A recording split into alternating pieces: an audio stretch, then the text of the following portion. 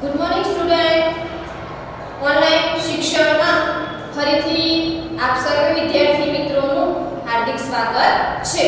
આજે આપણે સામાજિક વિજ્ઞાનમાં ધોરણ 6 માં પાઠ 7 ગુપ્ત યુગ અને અન્ય શાસકો વિશે આગળ જોઈશું આગળ આપણે મિત્રો જેમણે ગુપ્ત વંશની સ્થાપના કરી એ ચંદ્રગુપ્ત શ્રી ગુપ્ત વિશે ચંદ્રગુપ્ત પહેલા વિશે એમના પુત્ર સમ્રાટ સમુદ્રગુપ્ત અને એમના પછી ચંદ્રગુપ્ત બીજા વિશે આપણે માહિતી મેળવી હતી.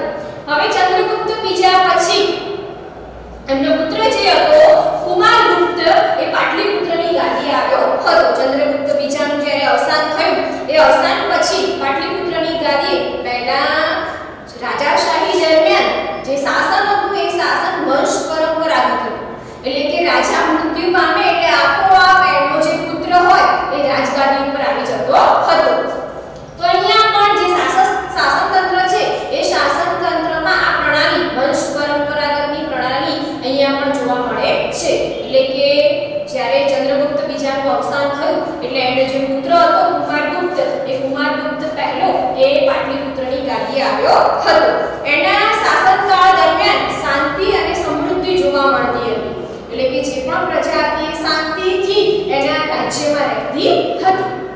એને પિતા તરફથી જે પણ વારસામાં જે સામ્રાજ્ય મળ્યું હતું, એ સામ્રાજ્યને એને એમને એમ સાચવી રાખ્યું હતું, જાળવી રાખ્યું હતું.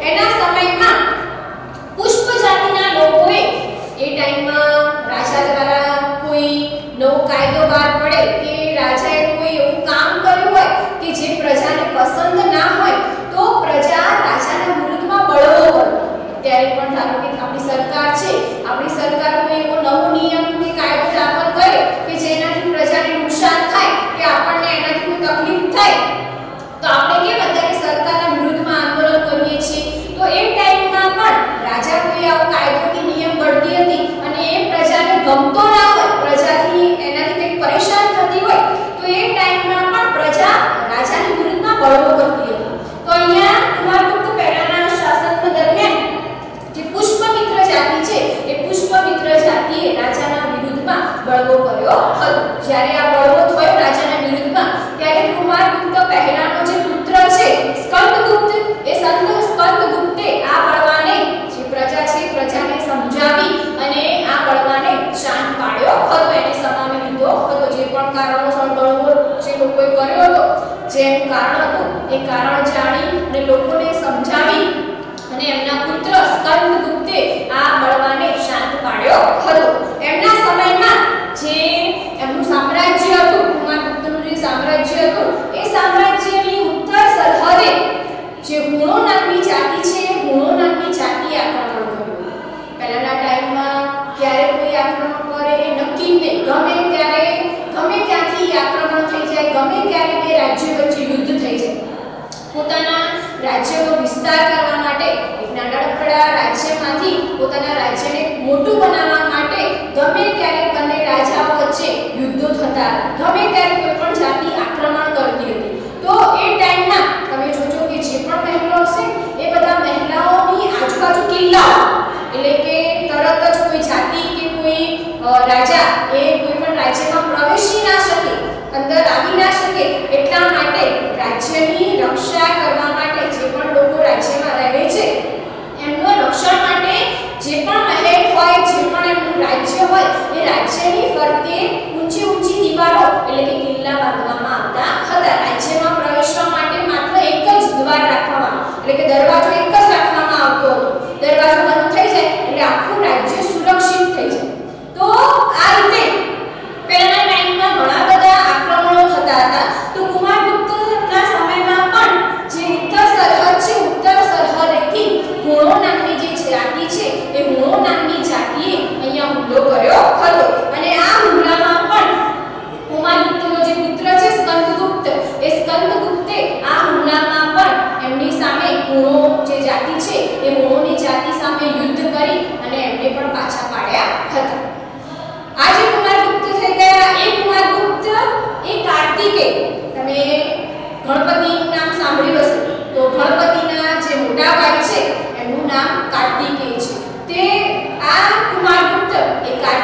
ભગવાનના મોટા ભક્ત હતા. એટલે કે કાર્તિકેયમાં ભગવાનમાં એ ખૂબ જ માનતા હતા. તે ધર્મા સહિષ્ણુ રાજા તરીકે એમને ઓળખવામાં આવે છે. તેમણે એમના સમય દરમિયાન જે પણ બૌદ્ધ અને જૈનો હતા એમણે ખૂબ જ પોતાના રાજ્યમાં કોઈ બૌદ્ધ ધર્મી આવે કે કોઈ જૈન વ્યક્તિ આવે, તો એ બૌદ્ધ ધર્મ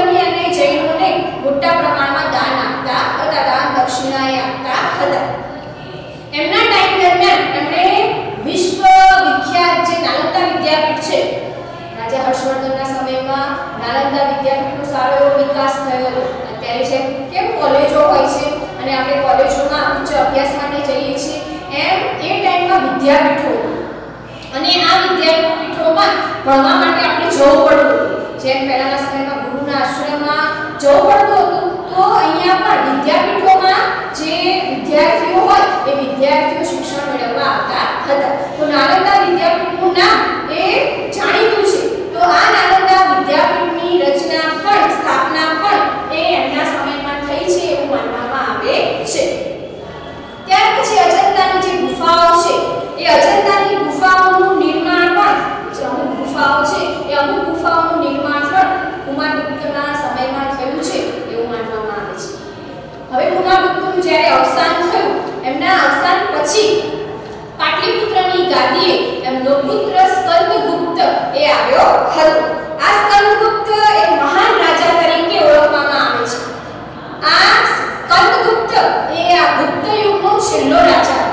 કેમ કે એ જ્યારે પાટલીપુત્રની ગાદીએ બેઠો એના પહેલા હું જે અ, જે હુણો જાતિ હતી એ હુણો જાતિએ જ જ્યારે પાટલીપુત્રની ગાદીએ રાજા તરીકે એને સ્થાન આપવામાં આવ્યું તો શરૂઆતના જ વર્ષોમાં આ હુણો જાતિએ હુમલો કર્યો અને આ હુણો જાતિએ હુમલો કર્યો તો એમના વિરુદ્ધમાં એમને પાછા કાઢવામાં જે રાજ્ય હતો એ રાજ્યનું પુષ્કળ ધન વપરાઈ ગયું પુષ્કળ પ્રમાણમાં આ હુણો જાતિ સામે યુદ્ધ લાંબા સમય સુધી ચાલ્યું હતું અને લાંબા સમય સુધી યુદ્ધ ચાલે એટલે યુદ્ધમાં જે પણ સેનાપતિ હોય એ સેનાપતિનો બધો ખાવા પીવાનો બધો ખર્ચો રાજાએ ઉપાડવો પડે અને લાંબા સા- ટાઈમ સુધી આ હુણો જાતિ સાથે આ સ્કંદગુપ્તે યુદ્ધ કર્યું હતું અને લાંબા ટાઈમ સુધી યુદ્ધ ચાલ્યું એટલા માટે આ લડાઈમાં પુષ્કળ પ્રમાણમાં દ્રવ્ય એટલે કે ખાવા પીવાની જે વસ્તુ હોય એ ખાવા પીવાની વસ્તુઓ પુષ્કળ પ્રમાણમાં વપરાઈ હતી અને પુષ્કળ પ્રમાણમાં વપરાઈ હોવાથી આ ગુપ્ત યુગમાં આર્થિક દૃષ્ટિ આર્થિક દ્રષ્ટિએ જે કહેવાય એ આર્થિક સંપત્તિમાં ઓટાવી હતી. આમે યુદ્ધ થાય, કોઈ લડાઈ થાય એટલે પુષ્કળ પ્રમાણમાં પૈસા ખર્ચાય ખાવા પીવામાં સૈનિકોને સૈનિકોને જે પગાર આપવો પડે, એમની પાછળ જે ખર્ચો થતો હોય, એ ખર્ચામાં પુષ્કળ પ્રમાણમાં ધન વપરાય. અને અહીંયા પણ ગુણો જાતિ સામે લાંબા ટાઈમ સુધી આ સ્કંદગુપ્ત યુદ્ધ કર્યું. એટલે પુષ્કળ પ્રમાણમાં જે ગુપ્ત સામ્રાજ્યની જે આર્થિક સંપત્તિ હતી કે આર્થિક સંપત્તિ એ પુષ્કળ પ્રમાણમાં વપરાઈ ગઈ ખૂબ જ પ્રમાણમાં ધન વપરાઈ ગયું. અને એના લીધે ગુપ્ત સામ્રાજ્યની આર્થિક સંપત્તિમાં ખોટ આવી હતી. તો આ રીતે સ્કંદગુપ્ત ને શરૂઆતમાં જ એને હુણો જાતિ સાથે હુમલો થયો. એટલે લાંબા ટાઈમ સુધી એ શાસન કરી શક્યો નહીં. સ્કંદગુપ્ત પછી પણ ગુપ્ત સામ્રાજ્યમાં અન્ય બીજા બધા શાસકો પણ આવ્યા. પણ એ બધા જનુની. કે શું કરવું? એ વિચારીને નતા એ જનુ, આમ કરી દઈએ આમ કરી દઈએ એ જનુની હતા. એ જનુની શાંત અને જે વિચારીને વહીવટ કરે એવા એ શાસકો હતા નહીં. એ શાસકોનો જનુની હોવાના લીધે અને જે હુણો જાતિ એ, જે હુમલો કર્યો હતો, તો આ શક્તિશાળી હુણોની સામે આ ગુપ્ત યુગના અન્ય શાસકો ટકી શક્યા નહીં. એમનો સામનો કરી નહીં. અને એના લીધે જરૂરી હતા અને વારંવાર આ હુમલો શક્તિશાળી હુમલોની સામે ટકી શક્યા નહીં. એટલે અહીંયા જે ગુપ્ત યુગ છે, એ ગુપ્ત યુગનો અહીંયા અંત આવ્યો હતો. ઈસવીસન ત્રણસો ને ઓગણીસની આસપાસ જે આપણા ભારત દેશમાં ગુપ્ત યુગની શરૂઆત થઈ હતી, એ ગુપ્ત યુગ ઈસવીસન પાંચસો ને પચાસમાં એ ગુપ્ત સામ્રાજ્યનો અહીંયા અંત આવ્યો હતો. તો આપણે ગુપ્ત યુગ દરમિયાન કયા કયા શાસકો થઈ ગયા કયા કયા રાજાઓ થઈ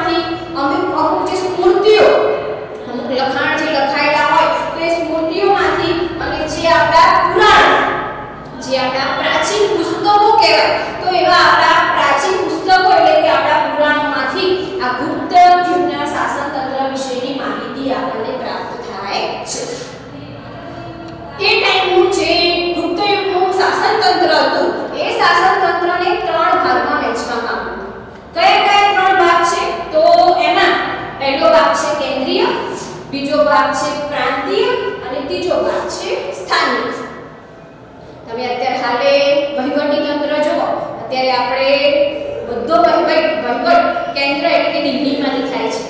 પણ એટલા કેન્દ્રમાંથી, એટલા દિલ્હીથી આટલા મોટા ભારત દેશના આટલા બધા રાજ્યો છે, એટલા બધા રાજ્યો ઉપર સારી રીતે વહીવટ કરી શકાય નહીં. એટલા માટે કેન્દ્રમાંથી તો વહીવટ થાય છે. એના સિવાય રાજ્યમાં દરેક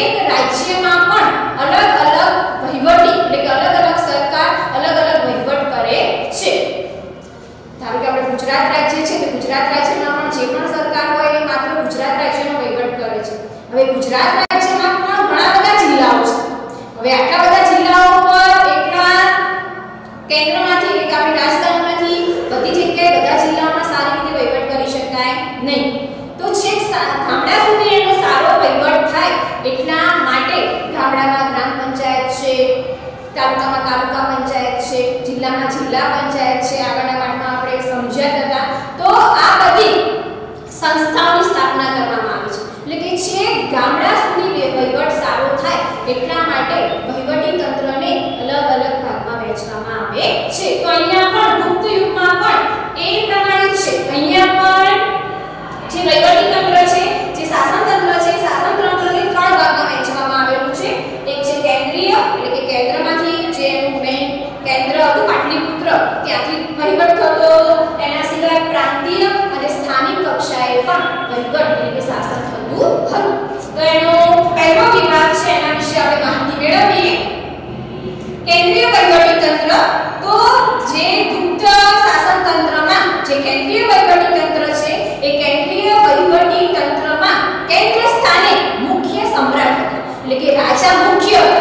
રાજા આખો એનો જે પણ સામ્રાજ્ય હોય, એ સામ્રાજ્યમાં બધો વહીવટ આ રાજાના નામે ચાલતો હતો. એટલે કેન્દ્રમાં વહીવટી તંત્રના કેન્દ્રમાં કોણ હતું? રાજા. એટલે કે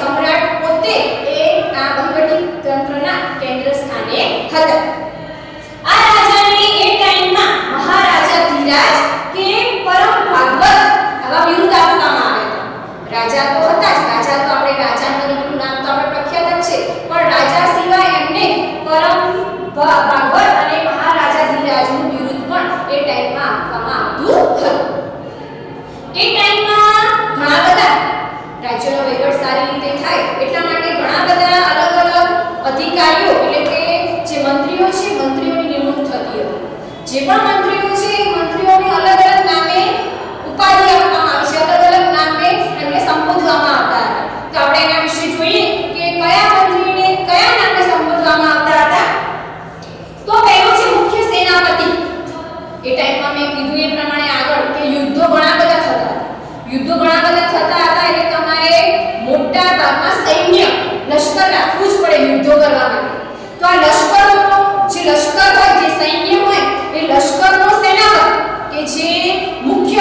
જે આખું જે પણ તમારું સૈન્ય હોય, એ સૈન્યનું બધું હેન્ડલિંગ એ કરતો હોય, બધો વહીવટ સૈન્યનું બધું જે પણ કામ હોય, એને એક સંભાળતો હોય, તો જે સૈન્ય છે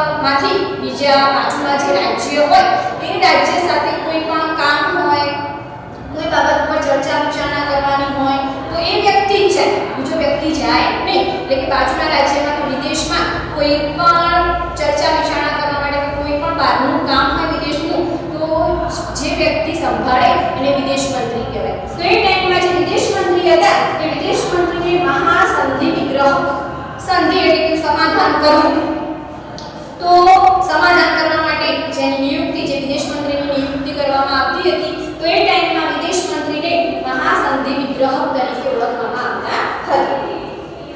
હવે મહેલ અને દ્વારોના રક્ષક, મેં તમને કીધું એ પ્રમાણે કે એ ટાઈમમાં ગમે ત્યારે હુમલો થતો ગમે ત્યારે યુદ્ધ થાય, તો એના રાજ્યની જે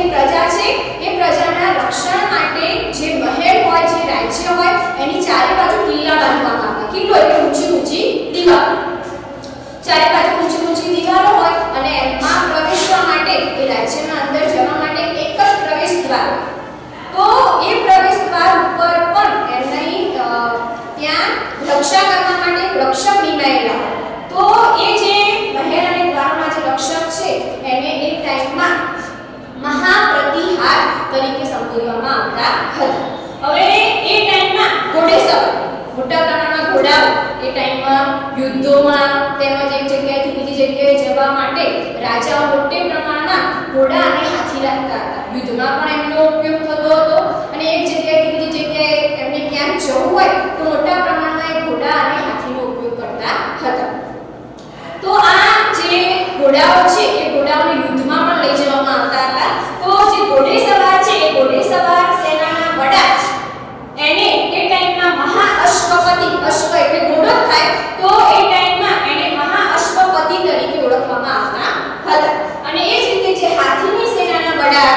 જે બધું આ હાથીઓ હોય, એ સેનાનું જે હેન્ડલિંગ કરતા હોય, એના જે વડા હોય